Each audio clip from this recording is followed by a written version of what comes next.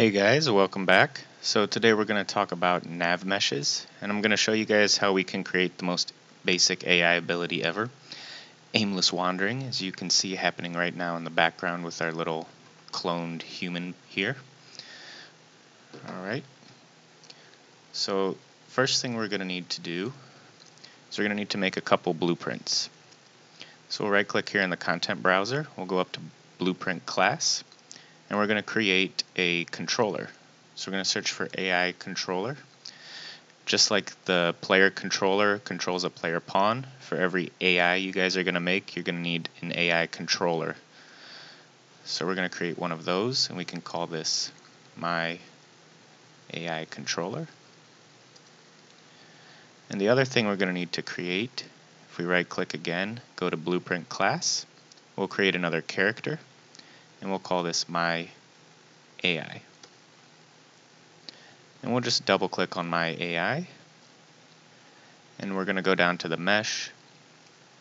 And we're going to give this the standard skeletal mesh here.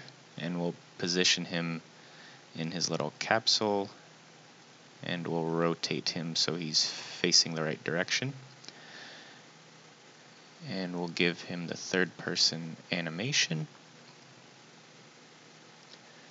And the last thing we're going to need to do in here is go up to this self and we're going to need to make sure he uses our AI controller, my AI controller here. And we can hit compile and save and that's all we'll need for this guy. So now we can come into our controller, double click here, and we'll go to the event graph.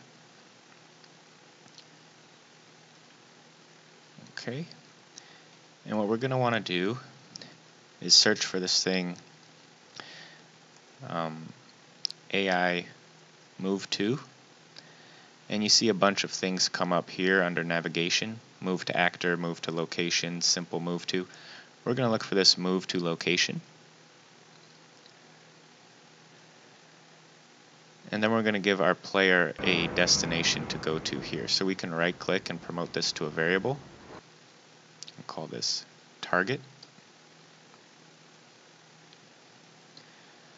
And off of begin play, we're going to hook this up here. And we'll drag out of target and hold Alt so we can set a target. And we'll connect this up like so. And what we want to do off of here, if we drag out, we can search for random point and we'll say random reachable point in radius. And this will take a distance from our origin. So if we right click here and split this structure pin, we'll just have the origin start at 0, 0, 0. We'll have a radius of about a thousand. And then what we're going to do off of tick is we're going to check and see if our player has arrived at the target. So we'll drag out of here and say equal. And then we're going to right click and look for get control pawn. And we'll get the actor location. So this is going to figure out which pawn this particular AI controller is um, controlling because remember you guys can have multiple AI in one level and they can all use the same controller. So this will get the specific pawn for this controller right now. And we'll get the location of that actor and we'll plug it into here. And then we'll give this a tolerance maybe like 250 so that um, the pawn doesn't actually have to be exactly at the target point before it decides that it's arrived and then we'll just hold B and click to create a branch node. And we'll hook up the tick to this branch. And if this is true, we want to find a new random point and say move to that location.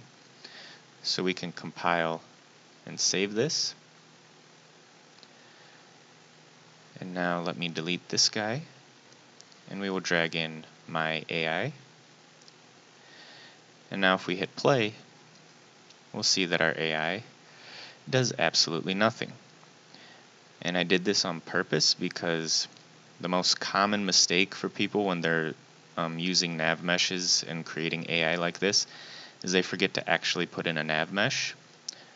So I had deleted our nav mesh out of the level when we started.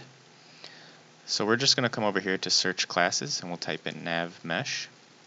You see nav mesh bounds volume comes up. We're going to just drag this into the world and we'll set the location to 0, 0, 0 and then we'll scale this up to be about 25 by 25 by 10. And as you see, it's building the navigation down here. And a little trick to see that um, you have a nav mesh in the world and it's working properly, if you guys hit the P key, you should be able to see a green floor that pops up. And this shows you everywhere that your AI will be able to travel. And if you hit P again, it'll go away.